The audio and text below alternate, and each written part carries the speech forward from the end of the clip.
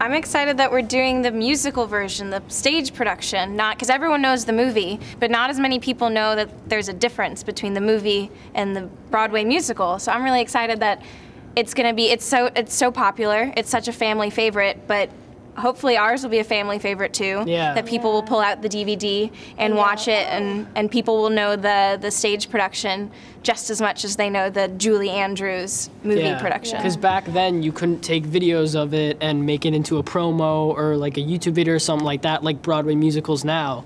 Back then you had to just go and see the show, and, And none- not a of obviously none of us saw it. You are going to love it. You are going to love it. It's a classic. It's you. You and your entire family can Trying to watch think it. some really creative It's going to say. be a lot of fun. It's going to be entertaining, and you're going to be able to see it on TV, so you don't have to pay for tickets to go see it in a theater.